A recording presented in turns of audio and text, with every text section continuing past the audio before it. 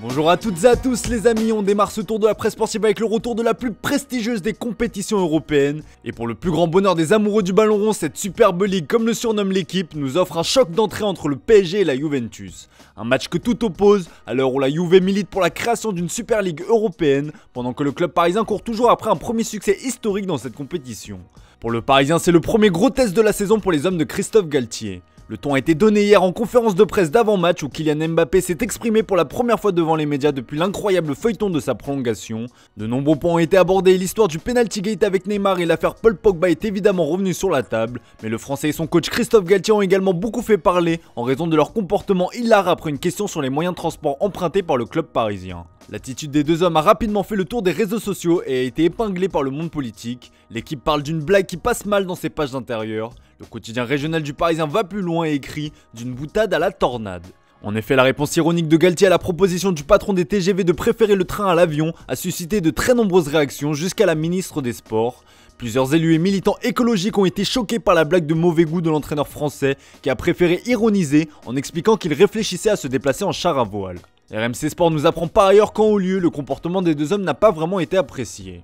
Allez, revenons au terrain, puisqu'en Italie, ce choc entre le PSG et la Juventus fait aussi les gros titres. Pour la Gazzetta dello Sport, c'est la Juve contre les Martiens. Les trois de devant que sont Messi, Bappé et Neymar sont terriblement redoutés par la presse italienne, qui estime que les Bianconeri sont loin d'être favoris face à l'ogre parisien.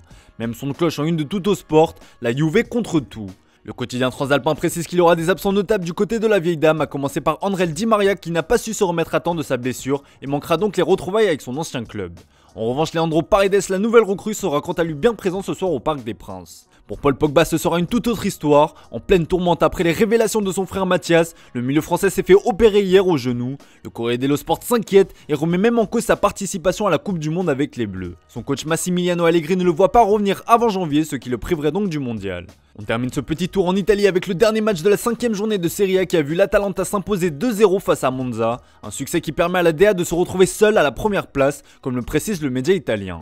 Allez, on continue à parler de la coupe aux grandes oreilles qui décidément fait la une un peu partout en Europe. Manchester City démarre sa campagne ce soir face au Sevilla FC et un nommé particulièrement attendu c'est Erling Holland, auteur d'un incroyable début de saison en première ligue. Son adaptation a été express et en Angleterre, on compte beaucoup sur le Norvégien pour mettre fin à la malédiction en Ligue des Champions. Donne-leur Hal, peut-on lire en une du Daily Star. Si le cyborg norvégien apparaît comme la botte secrète des Citizens, il va avoir besoin de l'aide de ses coéquipiers pour conquérir le Graal, comme le souligne le Manchester Evening News. Vous l'aurez compris, les débuts de l'attaquant de 22 ans sont donc très attendus.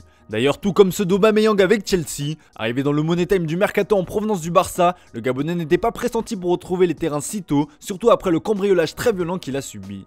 Mais l'homme masqué a reçu le feu vert médical comme le placard de le Daily Express. Équipé d'un masque de protection, Aubameyang pourrait donc disputer son premier match avec les Blues ce soir face au Dynamo Zagreb.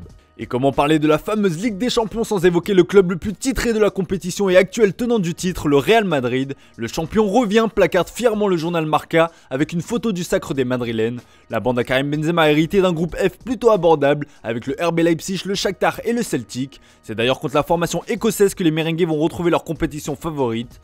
Pour le journal AS, la quête de la 15e Ligue des Champions de son histoire débute à Glasgow. A noter que le coach Carlo Ancelotti pourrait procéder à quelques rotations comme l'explique le média ibérique. La naturalisation de Vinicius Junior est également évoquée. Le Brésilien qui possède désormais la double nationalité libère donc une place d'extra-communautaire, ce qui est une excellente nouvelle pour les merengues qui pourront se lancer à la recherche d'une nouvelle pépite sud-américaine dès l'hiver prochain.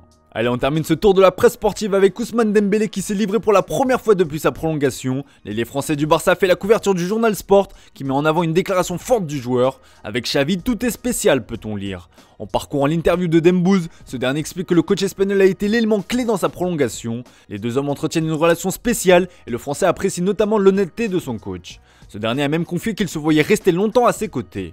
Le Mondo Deportivo qui placarde aussi Dembélé sur sa une reprend une autre déclaration forte de son interview. Je pense que nous allons gagner des titres. Assurément, Robert Lewandowski aura un rôle clé à jouer. Le Polonais fait d'ailleurs la couverture du journal AS qui dévoile les détails de son contrat chez les Blaugrana. L'attaquant de 34 ans a signé jusqu'en 2026 avec un salaire variable. Il touchera 10 millions d'euros la première saison, 13 millions d'euros dès la saison prochaine, 16 millions lors de sa troisième saison et enfin 13 millions d'euros lors de la dernière année de son contrat. A noter que le FC Barcelone a inséré une clause qui lui permet de rompre son contrat au cours de la saison 2024-2025 s'il joue moins de 55% des matchs. Le contrat du Polonais stipule également diverses primes en ce qui concerne les titres allant de 300 000 euros à 1 million d'euros. Voilà, c'est tout pour ce matin. Merci pour votre fidélité. Bonne journée à vous. On se retrouve tout à l'heure pour le traditionnel JT Foot Mercato.